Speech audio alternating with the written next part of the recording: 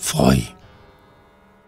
Tu peux choisir entre les fruits de la saison parfumée. Mais voici ce que je te propose. Deux mangues de Dieu, où tu pourras tâter le soleil qui s'y est fondu. Que prendras-tu? Est-ce celle-ci qui est aussi double et ferme que des seins de jeune fille? Et qui est acide? Ou celle-là qui est pulpeuse et douce comme un gâteau de miel? L'une ne sera que violente délice, mais n'aura pas de postérité et sera étouffée par les herbes. L'autre, source jaillissant de rochers, rafraîchira ta gorge, puis deviendra voûte bruissante dans ta cour, et ceux qui y viendront cueilleront des éclats de soleil.